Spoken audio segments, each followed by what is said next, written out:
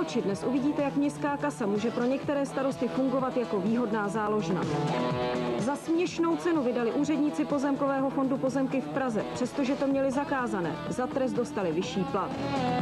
Během života schromáždil Pepa ze severních Čech několik tun polámaných placíků, rozbitých okenic a pér z gauče. Dobrý večer. Finanční experti zjistili, že za poslední čtyři roky stoupla zadluženost našich měst a obcí z nuly na šokujících 32 miliard korun. V mnoha případech to zavinili starostové, kteří si půjčují od bank peníze, ručí za ně obecním majetkem, podepisují směnky, ale peníze často používají pro své soukromé účely. My jsme se dostali do Evropy tím, že stát nemůže obcím do toho kecat. Jsou samostatní, to je dobře. No jo, ale stát se měl postarat do toho, aby ty obce taky měly e, nějakou šanci e, tu svou obecní vrchnost hlídat. A tu nemají. Znamená to, že starostové, zejména v malých vesnicích, mývají velkou, někdy i neomezenou moc. Svým způsobem to umožňuje i zákon o obcích, přijatý začátkem 90. let. Starostu vlastně nemůže nikdo kontrolovat. Na nejvyšší zastupitelstvo, které ale je v malých obcích často tvořeno starostovými příznivci, kamarády. Nemám nic, ty nemáš taky víc, když to dáme spolu dohromady, snad nám štěstí vyjde jednou. Tady, ve Vítěze na Trutnovsku, žije starosta, který si postavil soukromou pekárnu. Peníze si půjčil v bance, ale protože neměl čím ručit, zastavil několik obecních domů. Jak jste si to dozvěděli vlastně, že ty domy jsou zastavený? No tady takhle od lidí. Jako nebylo nikde nic napsáno, že to je, nebo prostě. Určitě to není v pořádku, ale říkám, nikde není žádný odvolání, ani tady na obci, ani na kraji, nevím, kam bychom si měli jít stěžovat. A právě na, na výstavu té pekárny jste si půjčil ty peníze? Na výstavbu nebo přístavbu vlastně byl poskytnutý úvěr. Jak byl vysoký ten úvěr? Ten úvěr byl vysoký 4 miliony. Dřív byl učitel, byl na základní škole, učil a byl to dobrý učitel. No ale když byl pak jako starosta, tak už mě nepřipadalo, že se moc zajímá o lidi teda. I kdyby došlo na to nejhorší, s čím samozřejmě nikdo z nás nepřistupoval, tak by to byl spíš obecní výdělek zbavit se tak hrozných domů. Dobrý den. Co budete dělat, když třeba Pragobanka se rozhodne, že toho udělá velký bankovní ústav a vy půjdete někam pryč? Jo, kam pak bychom ale šli? To bychom museli někde jít zase na ulici bydlet. A vy, ne, vy nemáte pocit, že byste udělal něco protiprávního? Nebo nemorálního třeba? No ani v nejmenším. Prostě tady, ať se chce nebo nechce, tak je to pod veřejnou kontrolou formální, neformální. Ty lidi jako nejsou spokojení s prací jako asi celého obecního zastupitelstva, protože jsou cesty špatné, voda není, a voda to je letitý problém. A takže myslím si, že jako by chtěli nápravu, ale sami se nezapojí. To, co se teď odehrává ve vsi a vůbec kolem dění v té pekárně, mám pocit, že to je jenom zloba a zášť. Jaký je pan starosta? No, se zeptejte ještě jiný To klidu. jsme se ptali. No, a odpověď jste dostali jakou? No, divnou, no, takovou. No, tak já taky říkám divnou.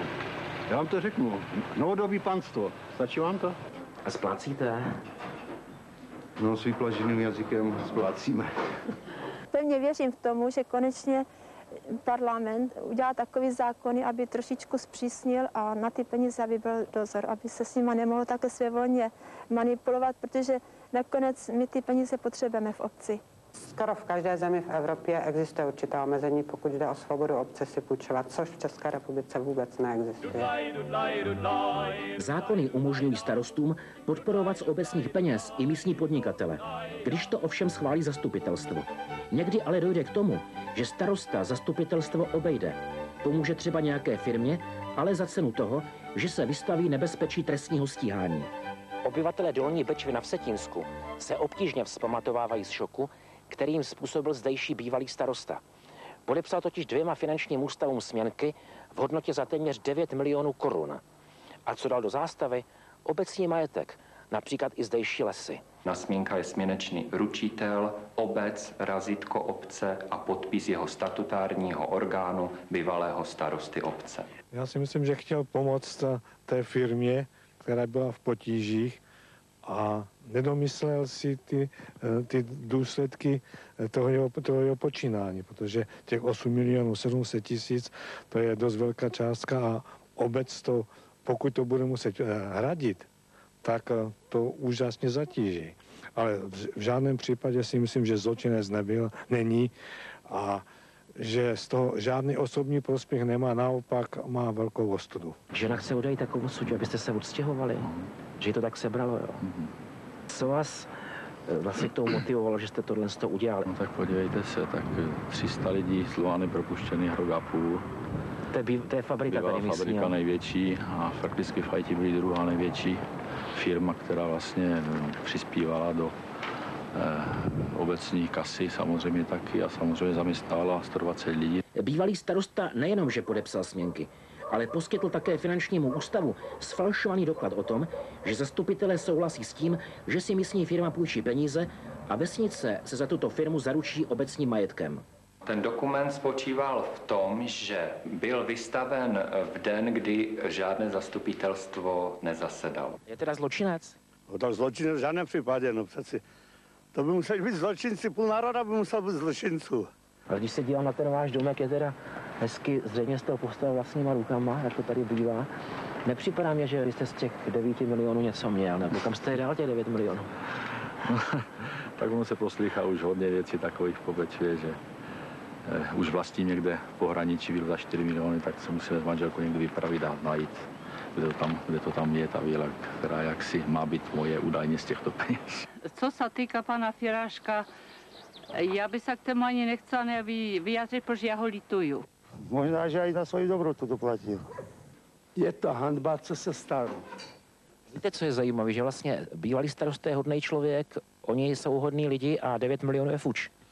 No já, si, já si myslím, že, že těm majitelům té firmy, těm dvou bratrům, kteří jsou poměrně mladí, stoupla sláva do hlavy tím, že měli zpočátku úspěchy i za pomoci naší obce. Jak se díváte na ty dva podnikatele? Provinili se ty, ty bratři Bolcovi? Ne, já vám povím, nemám pro ně řeč. Straně naštvané, jo. Co to hrumpy?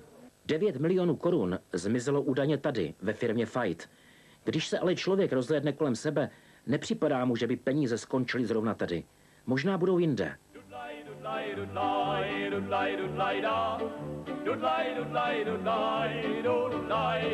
Řekněte mi, ale kam těch 9 milionů se podělo? No, tak to vám vůbec neřeknu, protože, jak vám říkám, to peněz to mm, jako nejde mimo mě. A paní Mzdová by to také nevěděla, učení. Ne, taky ne, to říká, to nám jezdí zaměstnanci. Prakticky, co se můžete dozvědět o firmě, tak to tak to je z úst mm, vlastně majitelů. Dobrý den, to je pan Bolcek. Ano, u telefonu. Pane Bolcek, tady je Motl televize, pořád na vlastní oči. Jo, dobrý den. Já jsem vám chtěl jenom říct jednu věc, takže my to točíme teda. No, už jsem, už jsem mi doslechlo, už jsem mi doneslo, pane Motor. Jo? No. A tak vám dám teda šanci, nechcete se tak tomu nějak vyjádřit. Já jsem ochotný se k tomu vyjádřit vlastně na konci tohoto měsíce. Kam se těch 9 milionů podělo a podobně, že jo? Se nemůžete vyjádřit. Veškeré finanční prostředky byly použity, veškeré finanční pro- prostředky byly použity na výstavbu toho areálu, jo? Zoufalá snaha získat nové úvěry na dokončení exkluzivního motorestu, který jim později stejně sebrali věřitelé, zavedla majitele zmíněné firmy až ke starostovi Dolní Bečvy. Nikdo neví, jestli jim starosta prach obyčejně naletěl, či zda šlo o kolektivní podvod. Já nemám nic, ty nemáš taky víc, když to dáme snad nám štěstí vyjde jednou vstříc. Majitelé firmy by měli platit, jenže dnešní jako podle mého názoru takové jsou ty zákony, že oni nemají nic, takže čím by to měli platit? Oni jsou z obliga. Cítíte třeba nějakou odpovědnost za to všecko, co, co se stalo a co jste vlastně... Samozřejmě, jistě, jsou tam moje podpisy, takže jako pořád, to, to, toho se jako ne, nemůžu zbavit samozřejmě jednoznačně. Nemáte ale, strach? Jo. Tak musí se to nějakým způsobem řešit, no tak. Starosta je za to zodpovědný, zaplatit by to měli oni v každém případě, jako, jenomže bohužel nemají z čeho, takže v tom nechali starostu až po uší, jako to je můj názor. Přemýšlíte o budoucnosti? No, musím přemýšlet, protože ještě nejsem v důchodovém věku, takže musím přemýšlet samozřejmě. No, tak mám v podstatě eh, živnostenský list na hodinář, hodináři, hodinářinu, spravuju hodinky, takže možná, že si otevřu. Vy jste hodinář? Firmu nevyučený, ale už to 20 let jsem dělal, takže jsem si ten živnostenský list pořídil a myslím, že mi teď bude vhod. Kdybyste museli jako ty peníze zaplatit, těch 9 milionů, tak z čeho to vemete ty peníze? No tak to bude o něčem jiném. To, to bude velmi problematické, protože to bychom museli opravdu prodávat snad obecní majetek, anebo v čase plnit z daňových příjmů.